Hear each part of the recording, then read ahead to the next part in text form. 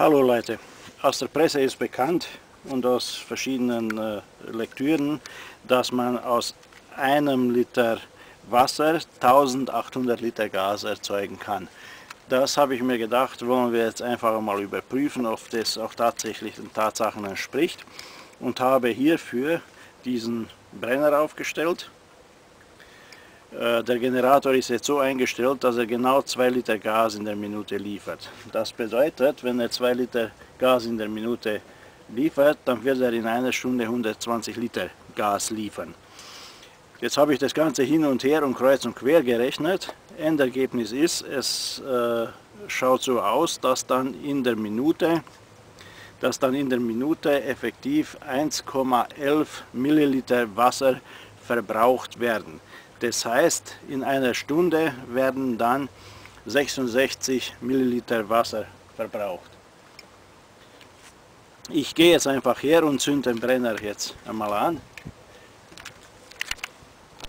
So, ich zünde jetzt den Brenner an und werde dann diese Flasche über den Brenner stülpen und das Ganze soll dann eine Minute dauern. Ich hoffe, dass ich so lange diese Flasche da halten kann und es nicht zu heiß wird. Also los geht's, Brenner anzünden. Flamme sollte jetzt an sein. Das können wir ja schneller mal prüfen, weil sichtbar ist die Flamme nicht. Doch, das brennt. So, und die Zeitabnahme erfolgt ab jetzt. Wie man sehen kann, brennt jetzt die Flamme eigentlich in, dieses, in die Flasche rein und schon ganz vorne kondensiert das Wasser.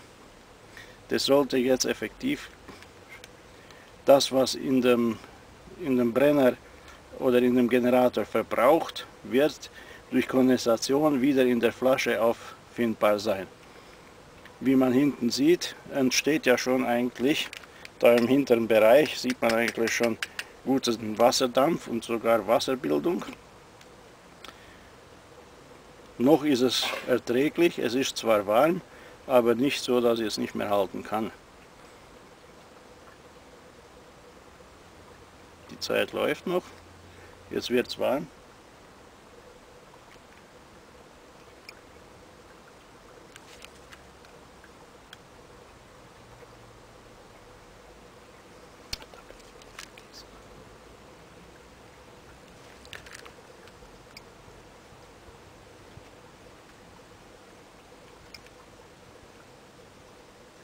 Das dürfte jetzt ungefähr eine Minute gewesen sein. Ich kann das jetzt nicht mehr halten. Die Flasche ist schon so heiß, das brennt an die Finger.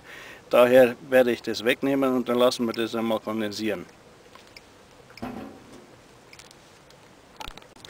So, damit das Ganze nicht so lange dauert, habe ich das Wasser jetzt, das entstanden ist, durch Kondensation entstanden ist, in der Flasche sich am Boden sammeln lassen und es ist in der Tat einiges da.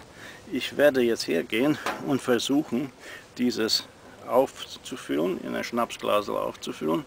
Ein bisschen wird ja verloren gehen. Schütten wir das jetzt einfach mal da rein. Und warten noch ein bisschen ab, dass das alles austropft.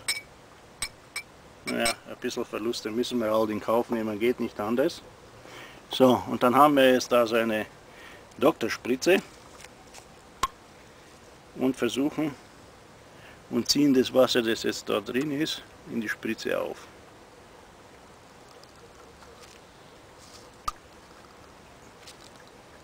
So.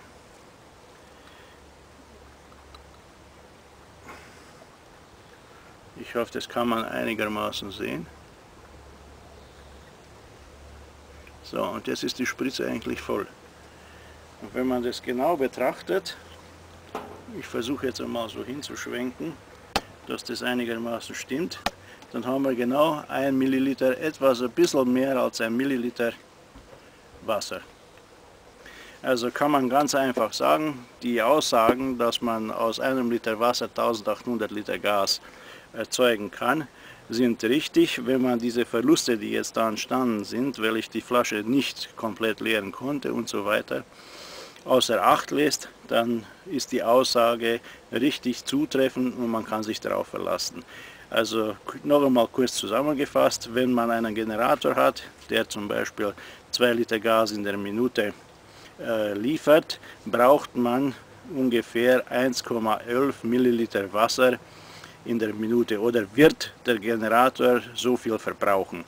Alles andere, was drunter und drüber ist, ist dann durch andere Sachen konditioniert oder wird beeinträchtigt, aber wie man jetzt da ganz einfach stümpelhaft sehen konnte aus dem ganz einfachen Versuch, stimmen die Angaben. Ich hoffe, das Video hat euch gefallen. Was man jetzt damit anfangen kann, soll man sich, kann jeder sich selber überlegen. Ich wünsche euch eine schöne Zeit. Danke fürs Zuschauen und Wiedersehen.